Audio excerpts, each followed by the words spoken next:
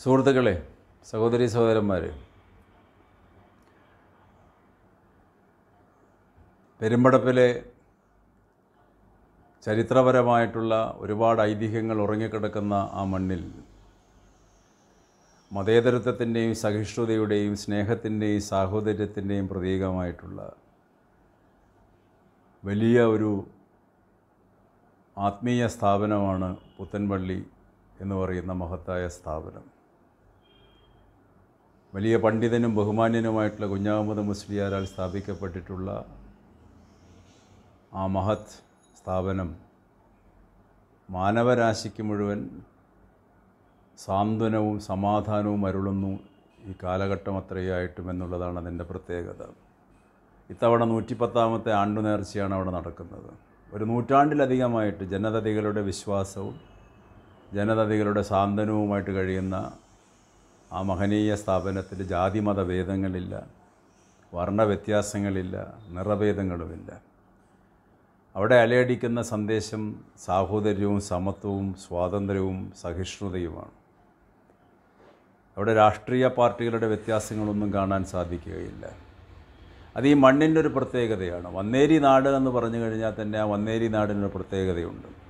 വന്നേരി നാട്ടിലാണ് പെരുമ്പടപ്പ് സ്വരൂപം. ആ പെരുമ്പടപ്പിന്റെ കേന്ദ്രഭാഗത്തിലാണ് ഈ പുത്തൻപള്ളി സ്ഥിതി ചെയ്യുന്നത്.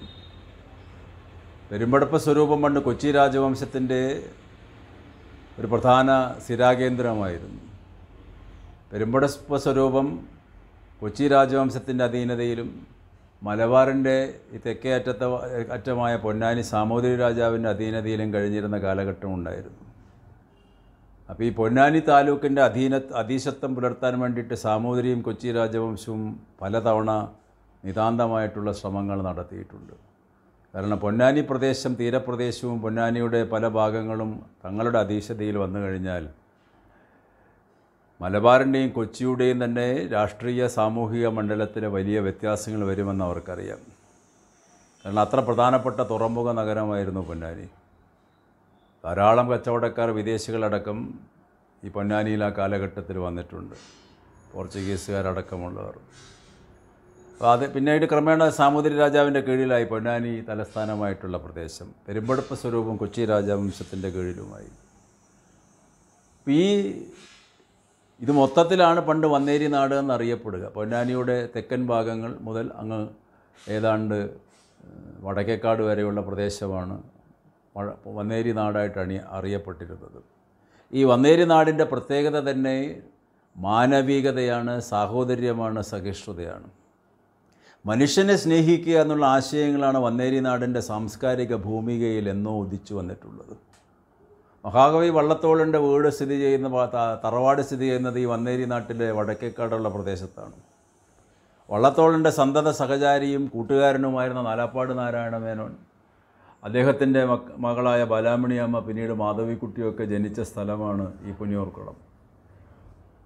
ലോക വിജ്ഞാന മണ്ഡലത്തിൽ പ്രഭ ചൊരിഞ്ഞുകൊണ്ട് അതിവൈജ്ഞാനികമായിട്ടുള്ള സന്ദേശങ്ങൾ ആ കാലഘട്ടത്തിൽ പടർത്തിയവരാണ് മഹാകവി വള്ളത്തോളും നാലാപ്പാടനൊക്കെ. അർഷജ്ഞാനം എന്ന് പറയുന്ന നാലാപ്പാടന്റെ ഗ്രന്ഥം വിശ്വവിഖ്യാതമായിട്ടുള്ള വൈജ്ഞാനിക ഗ്രന്ഥമാണ്. അതിലൊക്കെ വന്നേരി നാടിനെക്കുറിച്ചൊക്കെ പറയുന്നുണ്ട് ഇന്ത്യയുടെ ചരിത്രത്തെക്കുറിച്ചും സംസ്കാരത്തെക്കുറിച്ചുമെല്ലാം.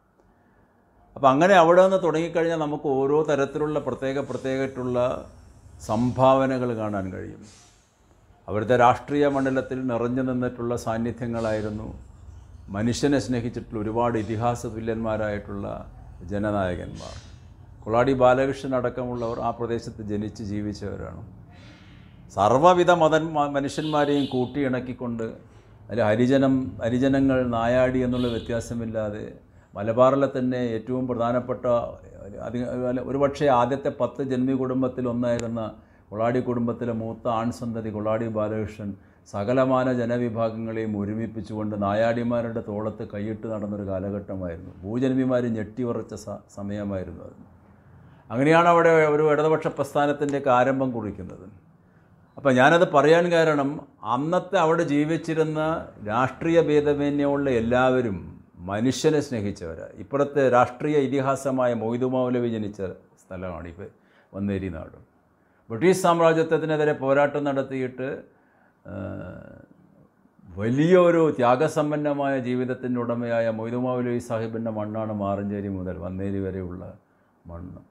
അപ്പോൾ ഇവരൊക്കെ ഈ ഒരു പക്ഷേ ഈ ബഹുമാന്യനായ കുഞ്ഞാമത മുസ്ലിയാരുടെയൊക്കെ പാരമ്പര്യം പിന്തുടർന്നുകൊണ്ട് അവരൊക്കെ അന്ന് അദ്ദേഹം വാരി വിതറിയിട്ടുള്ള മനുഷ്യസ്നേഹത്തിന്റെ പിൻഗാമികളായിട്ട് വരികയാണ് കുഞ്ഞാമത മുസ്ലിയാരേക്കാൾ എത്രയോ വർഷങ്ങൾക്ക് മുമ്പ് ദശകങ്ങൾക്ക് മുമ്പ് വെളിയങ്കോടിന്റെ മണ്ണിൽ ജീവിച്ച ബ്രിട്ടീഷ് സാമ്രാജ്യത്തിനെതിരെ പോരാട്ടി പോരാടിയിട്ടുള്ള അതിഗംഭീരമായ വിപ്ലവ പോരാളി വെളിയങ്കോട് ഉമർ ഗാസി മഹാത്മാഗാന്ധി ഇന്ത്യയിൽ ഉപ്പ് സത്യാഗ്രഹം നടത്തുന്നതിന് എത്രയോ വർഷങ്ങൾക്ക് മുമ്പ് ബ്രിട്ടീഷുകാരന് ടാക്സ് കൊടുക്കരുത് എന്ന് പറഞ്ഞ് ആദ്യം പറഞ്ഞ ആളൊരു പക്ഷേ ഇന്ത്യയിൽ വെളിയങ്കോട് ആയിരിക്കും അതാണ് സാമ്രാജ്യത്വത്തിനെതിരായിട്ടുള്ള ചിന്താഗതികൾ പടർന്ന് വ്യാപരിച്ചിട്ടുള്ള മണ്ണാണ് ഈ വന്നേരിയുടെ മണ്ണ്.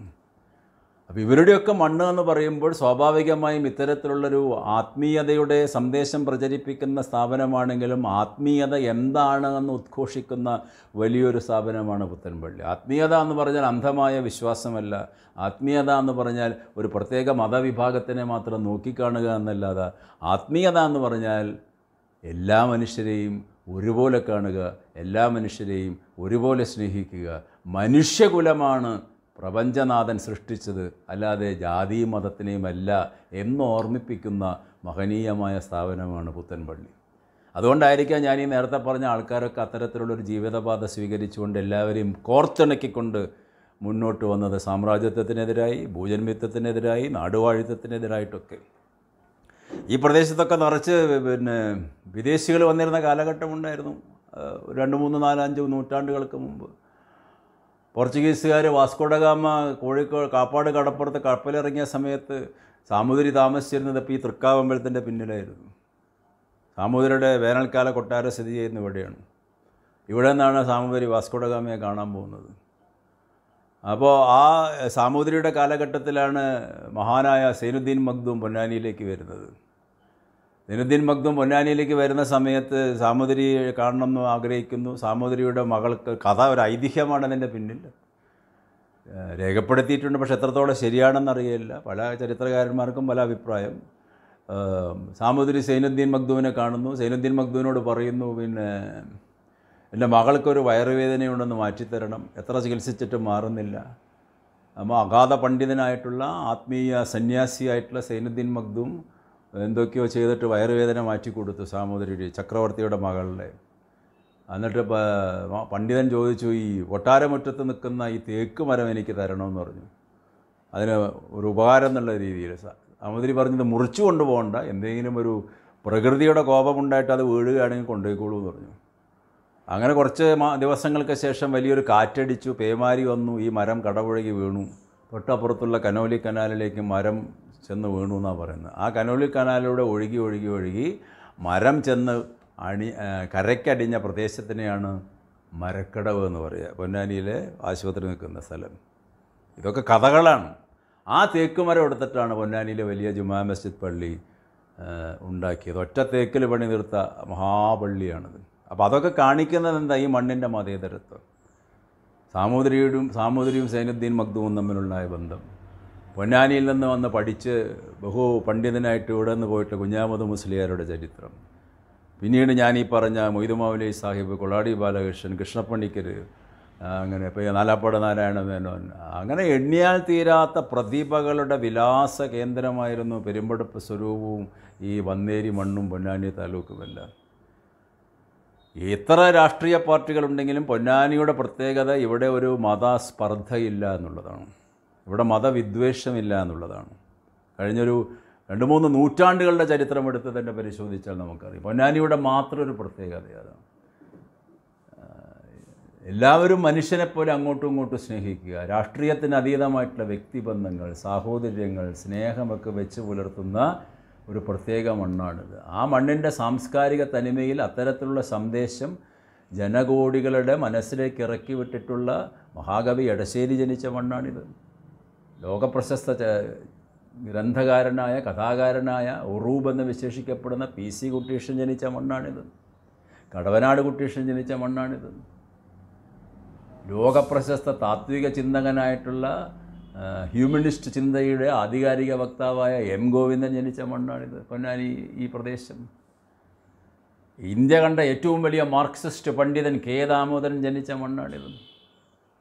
കേരളത്തിലെ കർഷക പ്രസ്ഥാനത്തിനെ കൂട്ടിയിണക്കിക്കൊണ്ട് സാമ്രാജ്യത്വത്തിനെതിരെ പോരാട്ടം നടത്താൻ വേണ്ടിയിട്ട് നിദാനം കുറിച്ചിട്ടുള്ള മലയാളത്തിലെ ആദ്യത്തെ നാടകമാകിയ പട്ടബാക്കി എന്ന് പറയുന്ന നാടകം വടക്കേക്കാടിന്റെ മണ്ണിൽ കൊരഞ്ഞൂർ മനയിൽ വെച്ചിട്ടാണ് കെ ദാമോദരൻ എഴുതുന്നത്. അവിടെയാണ് നാടകം കളിക്കുന്നത് തൊള്ളായിരത്തി മുപ്പതുകളിൽ ആ നാടകമാണ് കേരളത്തിലെ കർഷക പ്രസ്ഥാനത്തിനെ സാമ്രാജ്യത്തിനെതിരായ പോരാട്ടത്തിലേക്ക് നയിച്ചത്. അതാണ് വെളിയങ്കോട് ഉമ്മർഗാസി തന്നെ അറസ്റ്റ് ചെയ്തപ്പോൾ കർഷകർക്ക് വേണ്ടിയുള്ള പോരാട്ടമാണ് താൻ നടത്തുന്നതെന്ന് പണ്ട് പറഞ്ഞത്. അതിനേക്കാൾ എത്രയോ എത്രയോ നൂറ്റാണ്ടുകൾക്ക് മുൻപേ. അപ്പം മനുഷ്യസ്നേഹമാണ് ഇവിടെയെല്ലാം. അപ്പോൾ അത്തരത്തിലുള്ള വലിയൊരു പാരമ്പര്യം ഞാൻ പറയുന്ന രാഷ്ട്രീയ രംഗത്ത് മാത്രമല്ല ആത്മീയ രംഗത്തും തന്നെയായിരുന്നു സ്ഥിതി. സാഹോദര്യമാണ് ഇവിടുത്തെ മതശ്രേഷ്ഠന്മാർ പുലർത്താൻ വേണ്ടി ജനങ്ങളോട് പഠിപ്പിച്ചത്. അല്ലാണ്ട് മതസ്പർദ്ധയല്ല. ഇന്ന് നമ്മുടെ രാജ്യത്ത് മതമൗലികവാദികളും വർഗീയവാദികളും നിറഞ്ഞു തുള്ളുകയാണ്. ഭീകരമായിട്ടുള്ള സ്ത്രീകൾക്കെതിരായിട്ടുള്ള ആക്രമണങ്ങളൊക്കെ നമ്മളിപ്പോൾ ഉത്തർപ്രദേശിലൊക്കെ കണ്ടുകൊണ്ടിരിക്കുകയാണ്. ഒരു രാഷ്ട്രത്തിന്റെ സമുന്നതനായ അധികാരി പോലും ഒരു ഒരു അമ്പലത്തിന്റെ ശിലാന്യാസത്തിന് നേതൃത്വം കൊടുക്കുകയാണ്.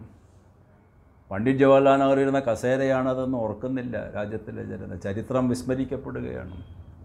പക്ഷെ പൊന്നാനി ഇത്തരത്തിലുള്ള ഈ വർഗീയ സങ്കുചിത ചിന്താഗതികളെ എന്നും എതിർത്തിട്ടുണ്ട്. ഇനിയും എതിർത്ത് പോരണം.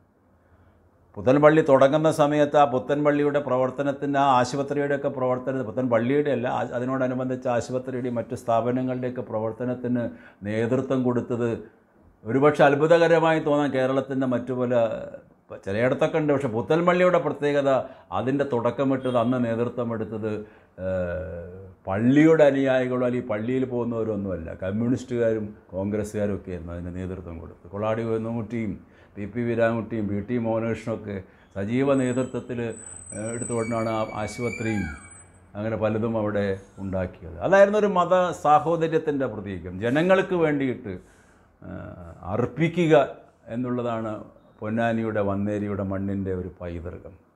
അതിന് സാഹിത്യ സംഭാവനകൾ ഉണ്ടായിട്ടുണ്ട് സാംസ്കാരിക സംഭാവനകൾ ഉണ്ടായിട്ടുണ്ട് കലാരംഗത്തുള്ള പ്രശ്ന സംഭാവനകൾ ഉണ്ടായിട്ടുണ്ട് ഇപ്പോൾ ജീവിച്ചിരിക്കുന്ന മലയാളത്തിന്റെ ഭാഷാ കുലപതിയായ സി രാധാകൃഷ്ണ സാർ ജനിച്ച മണ്ണാണിത്. ആലങ്കോടിലെ ലീലാകൃഷ്ണൻ കെ പി രാമകൃഷ്ണ രാമനുണ്ണിയൊക്കെ ജീവിക്കുന്ന മണ്ണാണിത്. അപ്പോൾ സർവമേഖലയിൽ നോക്കിയാലും ഇത്തരത്തിലുള്ള പ്രതിഭാശാലികളുടെ പ്രതിഭ അനർഗളം പ്രവഹിക്കുന്ന ഒരു മണ്ണിൽ പുത്തൻപള്ളിയെ പോലെയുള്ള വലിയൊരു മഹനീയമായ സ്ഥാപനം ഉണ്ടാവുക എന്നുള്ളൊരു നാടിന്റെ അനുഗ്രഹമാണ്. അത് മുസ്ലിം സഹോദരി സഹോദരന്മാർക്ക് മാത്രം വന്നു പോകാനുള്ള ഒരു പള്ളിയല്ല എന്ന് പ്രത്യേകം പ്രത്യേകം പ്രത്യേകം ഞാൻ ഓർമ്മിപ്പിക്കുന്നു. അത്തരത്തിലുള്ള സ്ഥാപനങ്ങൾ വളരെ വളരെ വിരളമാണ് ഇന്ത്യയിൽ പ്രത്യേകിച്ച് ഈ കാലഘട്ടത്തിൽ. ഈ ഫാസിസ്റ്റുകൾ നിറഞ്ഞു തുള്ളുന്ന കാലഘട്ടത്തിൽ. അവിടെ വിവിധ ദർശനങ്ങളുള്ളവർ ചിന്തകളുള്ളവർ ജാതിയിലുള്ളവർ മതത്തിലുള്ളവരൊക്കെ അവിടെ വന്നു പോകുന്നുണ്ട്. ഒരു സാന്ത്വനത്തിന് വേണ്ടിയിട്ട് ഒരു ഒരു ഒരു സാഹോദര്യത്തിന്റെ പ്രതിഷ്ഠാപനം എന്നുള്ള രീതിയിൽ. അപ്പോൾ അതൊന്നും നമ്മൾ കളഞ്ഞു കുളിക്കരുത് അപ്പോൾ ഇത്തരത്തിലുള്ള ഇപ്പോൾ അണ്ടുനേർച്ചകൾ അല്ലെങ്കിൽ മറ്റ് സ്ഥാപനങ്ങളിലുള്ള ഉത്സവങ്ങളൊക്കെ മതസാഹോദര്യത്തിന് കോപ്പുകൂട്ടുമെങ്കിൽ മതസാഹോദര്യത്തിന്റെ പുഷ്ടി ബലപ്പെടുത്തുന്നുവെങ്കിൽ അത് മനുഷ്യന് വേണ്ടി നടത്തണം. അല്ലാതെ അന്ധവിശ്വാസങ്ങളും അനാചാരങ്ങളും പ്രചരിപ്പിക്കാനല്ല ഇത്തരത്തിലുള്ളത് വേണ്ടത് എന്നാണ് സൈനുദ്ദീൻ മഖ്ദൂമും കുഞ്ഞാമത് മുസ്ലിയാരും അല്ലെങ്കിൽ വലിയ വലിയ വ്യത്യ വ്യത്യസ്ത മതവിഭാഗങ്ങളുടെ ആത്മീയ ആചാര്യന്മാരൊക്കെ പറഞ്ഞിട്ടുള്ളൂ ഇപ്പോൾ വിവേകാനന്ദ സ്വാമിയും ഒക്കെ പറഞ്ഞിട്ടുള്ള നമുക്കറിയാം. ഇന്ത്യ കണ്ട ഏറ്റവും വലിയ സന്യാസി സ്വാമി വിവേകാനന്ദൻ. അദ്ദേഹത്തിന്റെ ദർശനങ്ങൾ മാനവികതയാണ് മനുഷ്യനാണ് ഒന്ന് എല്ലാം ഒന്ന് തന്നെ എന്നുള്ള ആ സങ്കല്പം ആണ് ഉപനിഷത്തുകളും വിശുദ്ധ ഖുറാനും വിശുദ്ധ ബൈബിളും ഒക്കെ പറഞ്ഞിട്ടുള്ളത്. ആത്മീയ ഗ്രന്ഥങ്ങളുടെ സന്ദേശങ്ങളെല്ലാം ഒന്ന് തന്നെയാണ്. പക്ഷെ അത് ദുർവ്യാഖ്യാനിക്കപ്പെടുകയാണ് പൗരോഹിത്യത്തിന്റെ സ്ഥാപനത്തോടുകൂടി മൂന്നാം നൂറ്റാണ്ട് മുതൽ. അതുകൊണ്ട് പ്രവാചകന്മാർക്കോ വിശുദ്ധ ഗ്രന്ഥങ്ങൾക്കൊന്നും ഒരു തെറ്റും പറ്റിയിട്ടില്ല. അവർ പറഞ്ഞത് മനുഷ്യന് വേണ്ടിയിട്ടാണ്. അവർ പറഞ്ഞത് പ്രപഞ്ചത്തിന്റെ സൃഷ്ടിപരതയാണ്. അവർ പറഞ്ഞത് പ്രപഞ്ചത്തിന്റെ സർഗാത്മകമായ വികസനത്തിനെക്കുറിച്ചാണ് ഈ വിശുദ്ധ ഗ്രന്ഥങ്ങളുടെ സന്ദേശത്തിനെ വളച്ചൊടിക്കുമ്പോഴാണ് ഈ മതസ്പർദ്ധയും വർഗീയതയും തീവ്രവാദമൊക്കെ ഉണ്ടാകുന്നതെന്ന് നാട് തിരിച്ചറിയണം. അങ്ങനെ നാടിനെ തിരിച്ചറിയാൻ വേണ്ടിയിട്ട് ശക്തി കൊടുക്കുന്ന സാഹോദര്യത്തിന്റെ അതീവമായിട്ടുള്ള സഹിഷ്ണുതയുടെ ചൈതന്യം പ്രസരിക്കുന്ന മഹത്തായ ഒരു വലിയ സ്ഥാപനമാണ് പുത്തൻപള്ളി. അത് സ്ഥാപിക്കപ്പെട്ട ബഹുമാന്യരായ കുഞ്ഞാമത മുസ്ലിയാരുടെ സന്ദേശം അതാണ് മനുഷ്യ നിങ്ങൾ ഒന്നിക്കൂ. അതാണ് പുരാണങ്ങൾ പറഞ്ഞത് വേദം പറഞ്ഞത് ഉപനിഷത്തും ഖുറാനും ബൈബിളും പറഞ്ഞത്. മനുഷ്യ ഒന്നിക്കൂ മനുഷ്യ സ്നേഹം പ്രചരിപ്പിക്കൂ മനുഷ്യന് വേണ്ടി ജീവിക്കൂ മനുഷ്യനെ കണ്ടെത്തൂ. അതായിരിക്കട്ടെ ഈ സ്ഥാപനത്തിന്റെയും അത്തരത്തിലുള്ള ആത്മീയ രാഷ്ട്രീയ സാമൂഹിക സ്ഥാപനങ്ങളുടെയൊക്കെ ലക്ഷ്യവും മനുഷ്യന്മാരുടെ ഉത്തരവാദിത്വവും ഈ നേർച്ചയ്ക്കും അതിന്റെ എല്ലാവിധ പ്രവർത്തനത്തിനും ഹൃദയം നിറഞ്ഞ ആശംസകൾ അർപ്പിക്കുന്നു. എപ്പോഴും സാഹോദര്യം വീണ്ടെടുക്കാൻ ഉപകരിക്കുമാറാകട്ടെ എന്ന് മാത്രം പറഞ്ഞ് അവസാനിപ്പിക്കുന്നു.